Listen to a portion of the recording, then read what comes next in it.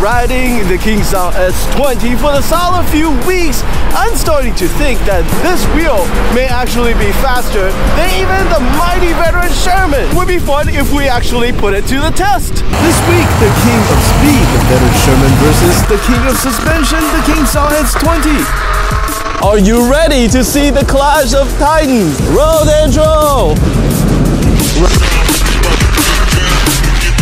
Like and subscribe if you enjoy the video and we'll be BFF forever.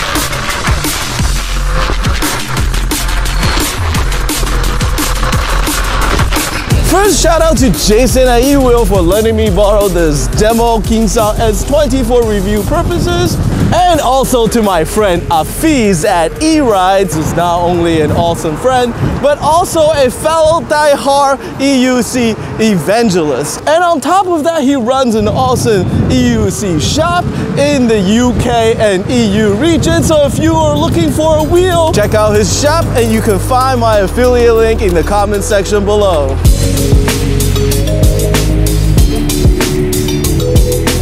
Suspension electric unicycle have come a long way since their first introduction two years ago. Not only that, but in my performance test of this wheel, I was shocked at how close it felt like it has gotten to the top speed wheel from Gotway and of course Veteran. And I imagine I'm not the only one who's curious to find out how the S20 actually stack up to a traditional high performance wheel like the Sherman and that is precisely what we're gonna do this week. In the Challengers corner we have the King Kingsound S20, the very first 126 volt wheel with a 45 miles per hour top speed, a 3300 watt motor, and a 2200 watt hour battery pack, and a 20 inch wheel weighing in at 75 pounds.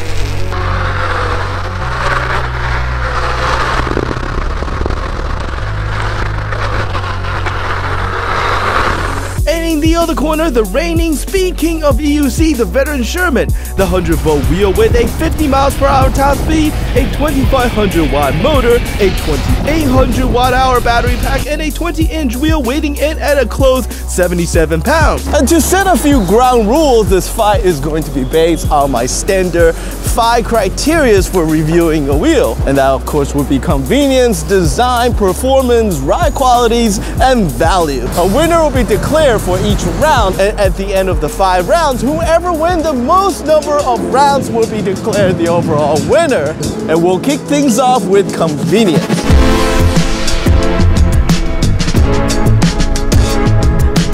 Both wheels weigh in at about the same and both come with front and back handles, but neither are fun to lift or carry upstairs. But like most other electric unicycle, you would primarily be rolling them around by using the trolley handle, and the handle on the Sherman is center mounted and so better balanced, and they also extend a little bit further. Wherein the S20 has a heavyweight bias towards the front of the wheel to keep proper balance needed to be pushed in reverse. Both come with a top display with the Sherman showing more info but the S20 more legible. The S20 comes with brighter headlights, better stock pedal and seat in the box without having to pay extra for it. But the Sherman on the other hand has these protective bars which make mounting accessory a little bit easier and also help protect the wheel in the event of a crash. For these two wheels and although their strengths vary, from a day-to-day -day convenience perspective, they actually feel about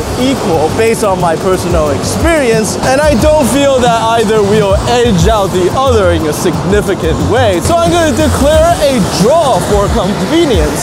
But when it comes to design, it's a much more one-sided victory for the King Song S20. Although both wheels are innovative in their own right, the Sherman with its compact, well-balancing utilitarian shell and the S20 showcasing the new modular approach, there are simply no denying the striking good look of the S20. This is a wheel that turns heads wherever you go.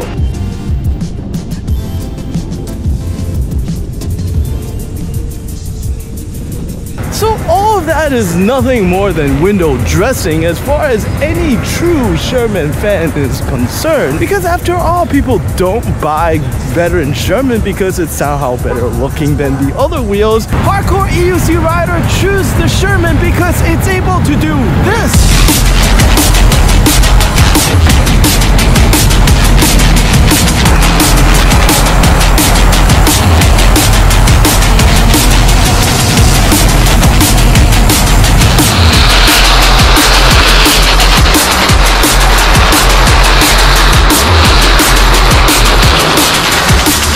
The balance, the low center of gravity, and even the battery size and firmware all in concert create an extraordinary riding experience that no other electric unicycle have been able to match, not even close. And part of that unique is precisely because it is unencumbered by the weight and complexity of a suspension system. They allow your feet to firmly connect with the road via the pedal hanger, a solid axle, and that magnificent 2500 watt motor.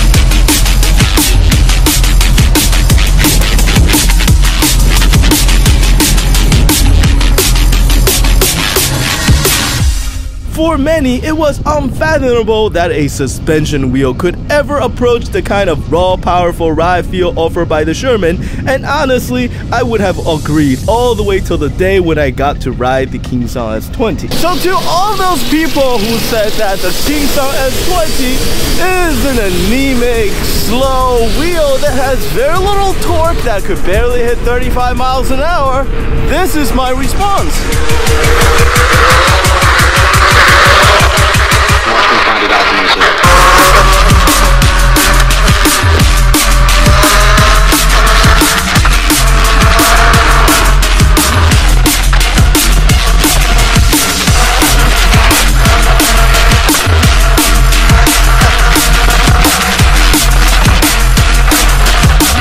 No engineer, but my guess is that the King Kingsong was able to achieve this by a combination of substantially stiffened structural framing and a much more robust suspension pivot and piston.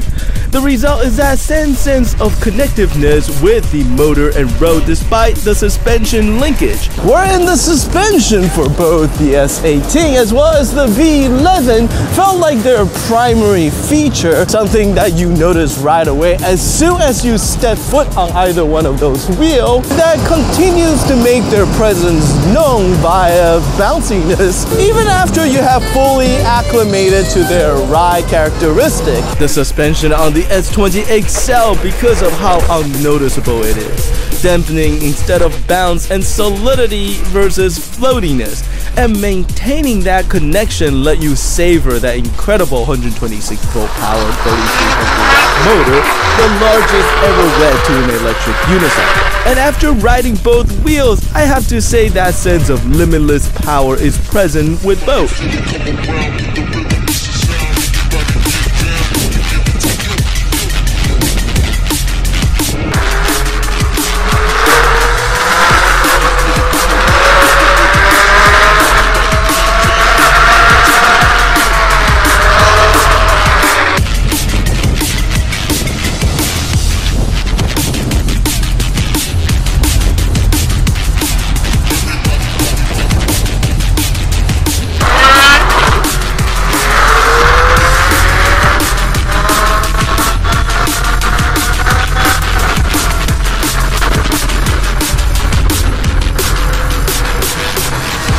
So we have two wheels that exhibit a similar level of exhilaration and fun from a ride feel perspective. I can't really say that one is more fun to ride than the other. So unfortunately, I have to declare yet another draw, which finally brings us to the question of performance.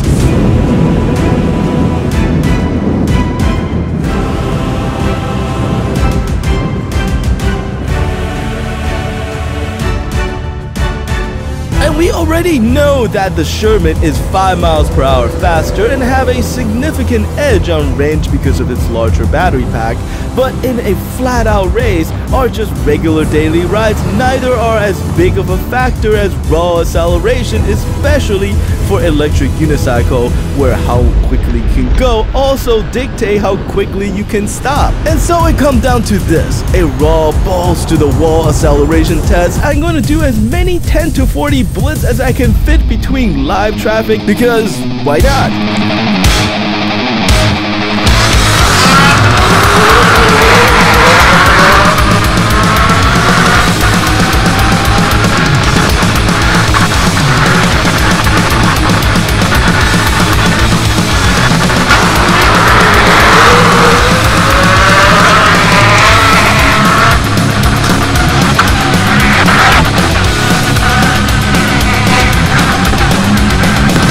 Unlike any veteran on Gotway wheels, the S20 has a good bit of flex or springiness with its torque response.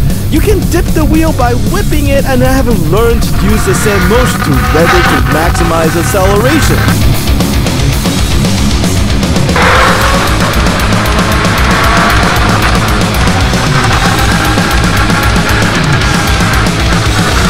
The Sherman by comparison is stiff and has a nearly straight and very predictable acceleration curve from 10 miles per hour all the way up to its maximum speed with little drama. And it does beeps at around 45 miles an hour and since I'm not quite feeling like gambling with fate, that is where I tapped out.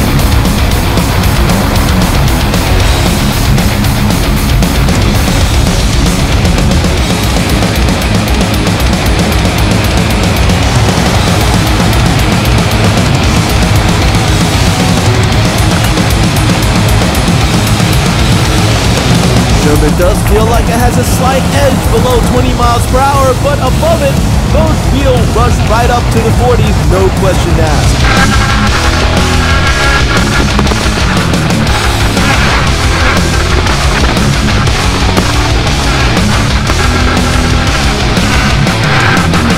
Off the line, the Sherman would likely win in a drag race, but the margin is small enough that it will likely be little differences to anyone outside of extremely limited circumstances.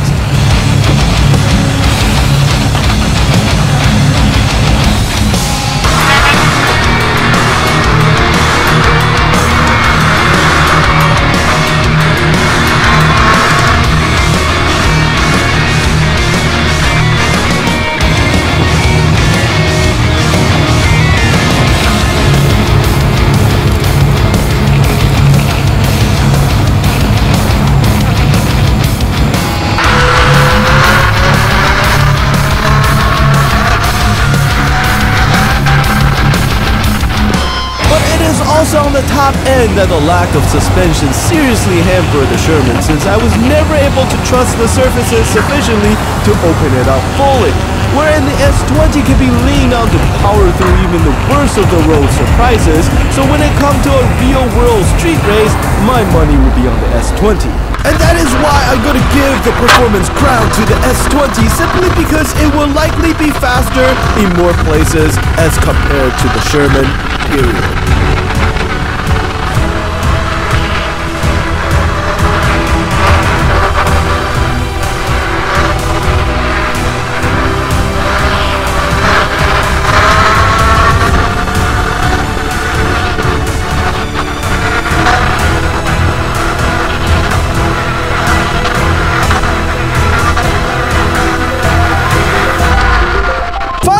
Talk about value. Both wheels are about even when it comes to price, just north of the $3,000 mark, with the upgraded Sherman Max costing another $300 on top, but you do get 700 watt hour more of battery packs in a slightly larger motor. And the biggest decision point I think would be range. If you need to travel more than 30 miles without charging, then the Sherman is your only choice. However, if like me, your primary concern is to maximize the fun factor within those 30 miles, then I would heavily weigh my buy decision towards the King Song S20. But to be fair, we'll call it another split decision for value.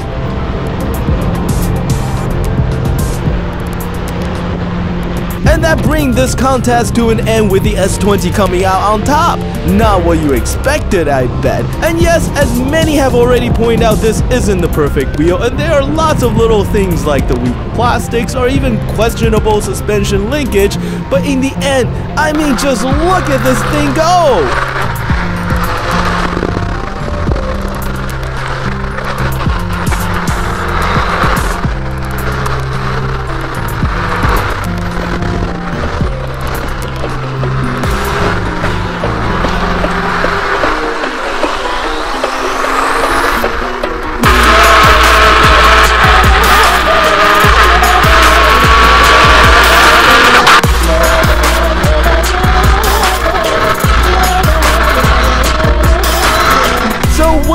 Think? Am I crazy to call it in favor of the S20? Well, that is what the comment section below are for. And you know what? Aha! I somehow managed to trick you into wasting another 15 minutes of your life, but I hope you enjoyed it. Shout out to my supporter on Patreon. Please check out the link in the video description below if you enjoy and like to support my work. And as always, as much as we all love electric unicycle, the only way for us to get better wheel is to grow as a community. So tell your friend and teach him how to ride and get them hooked. Until the next video, thank you.